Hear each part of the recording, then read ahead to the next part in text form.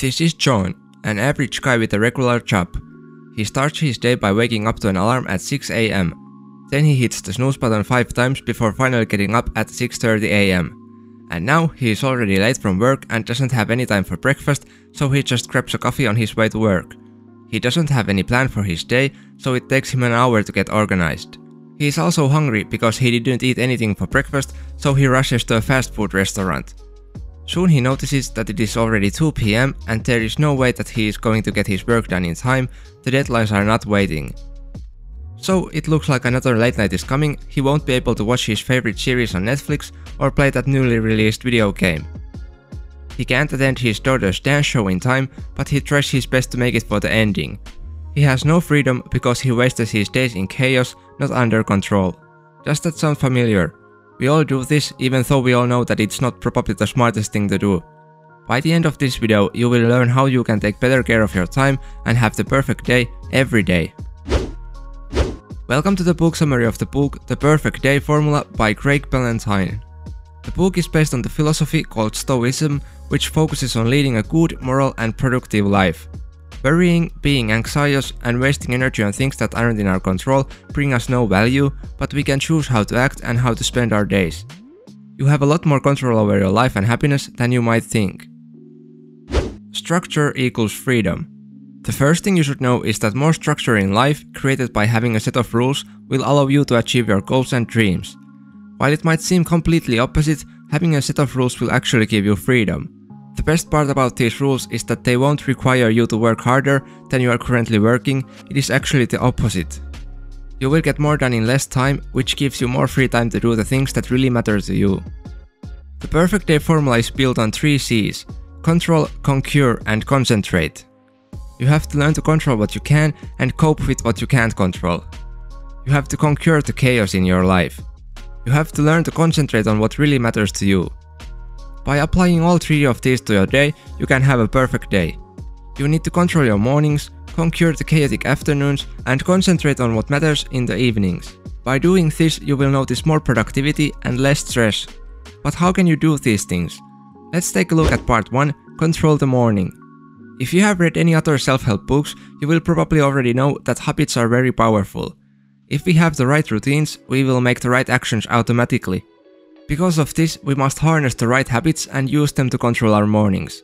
There are 7 steps to build habits of steel, which are Do the first thing first, do what really matters to you. Creating rules will help you avoid disappointment, guilt and regret of wasted days. Make a checklist before going to bed that you can easily follow for success. Get rid of temptations and bad habits as often as you can. Don't buy that amazing phone charger from Amazon to your work desk, instead forget to load your phone so you can get more work done. While procrastination is tempting, you must avoid it. Action is the simplest way to do so. It's not easy to make new habits stick, but when you face difficulties, you should learn from them.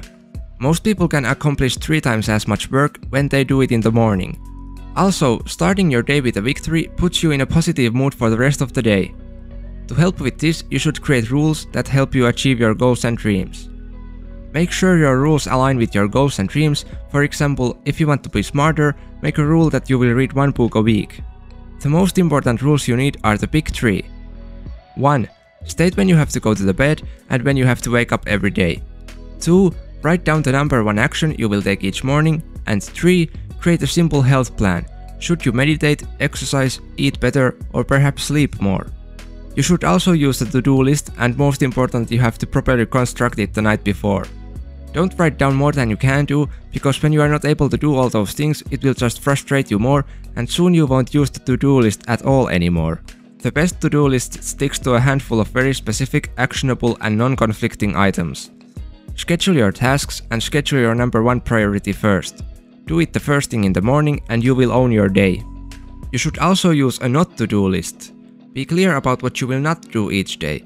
If you know that you have some specific challenges, like playing video games too much, add them to this list and do your best to follow through with it. The 10-3-2-1-0 Good Night Formula. This formula helps you to get to bed on time, sleep better and wake up in the morning well rested. So, what does the formula mean? You should stop using caffeine 10 hours before going to bed to eliminate its stimulatory effects. Don't eat or drink alcohol 3 hours before sleeping to avoid heartburn and interrupted sleep. Stop doing all the work related stuff 2 hours before bed. Don't even check your email. In fact, don't even think about tomorrow. Turn off all the electronics 1 hour before bed. Spend the last hour doing things like reading, meditating or taking a bath.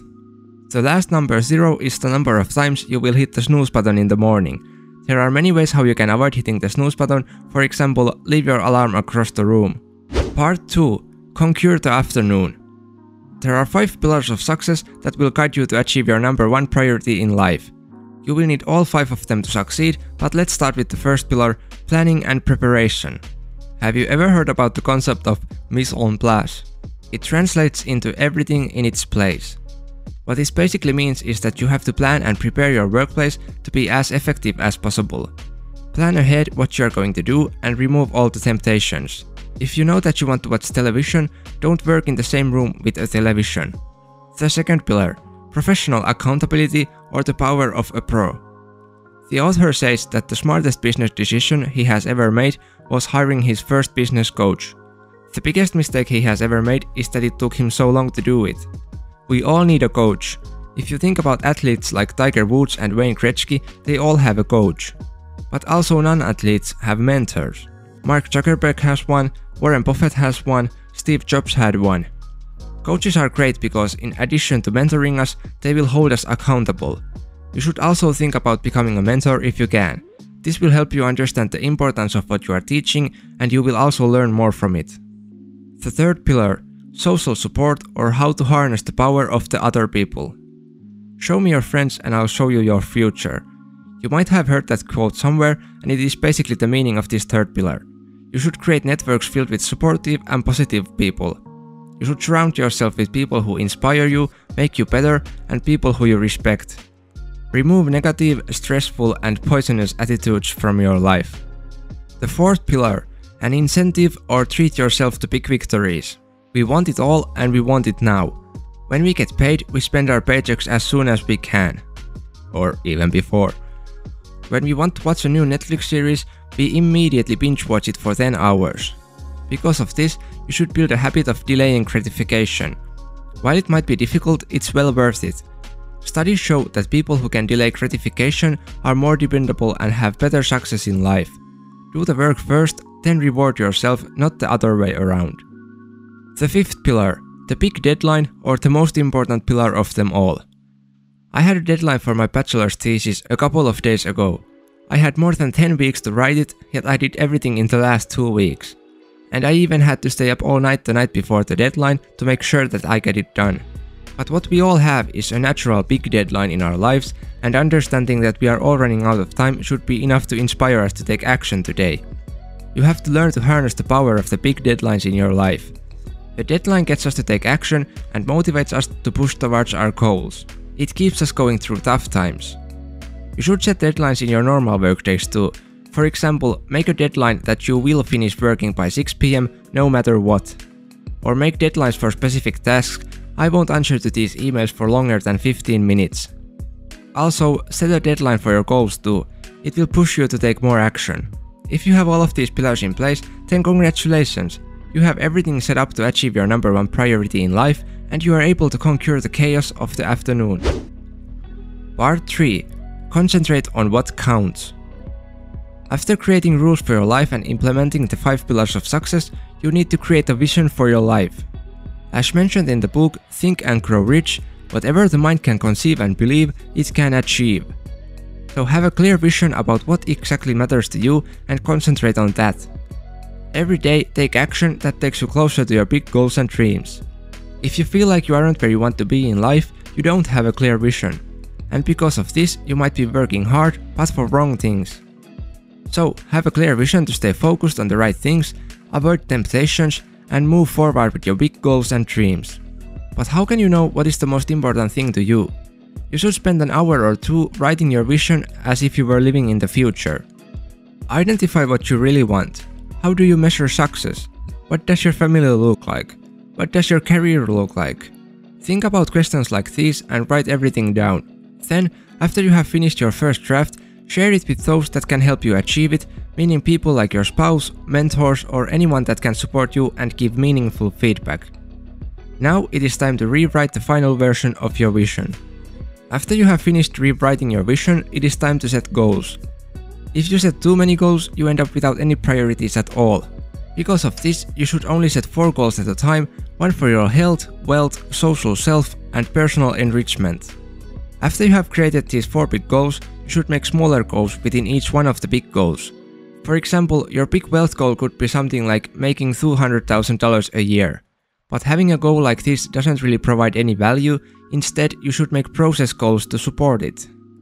These support goals could be something like I will make one sale a day, I will invest $1000 a month to receive passive income in the future, I will start a side hustle that generates me $1000 a month. Whichever goals you set, make sure that they are specific and help you achieve your vision. Share these goals with positive, supportive people. If you don't have any of those yet, you can find them in online communities.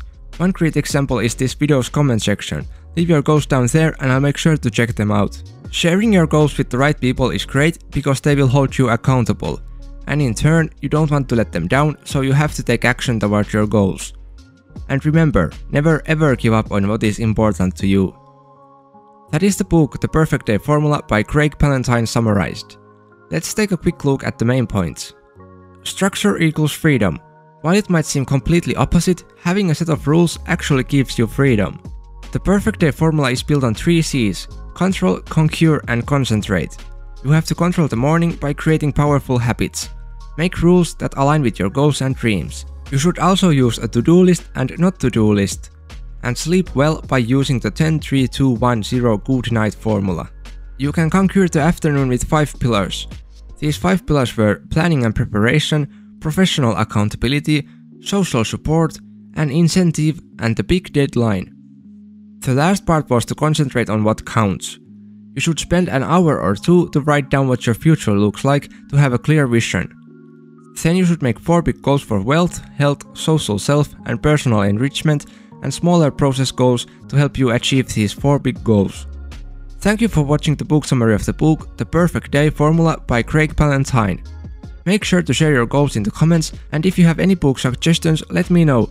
Leave a like and subscribe for more weekly videos in the future. Have a great day and I'll see you later. Bye!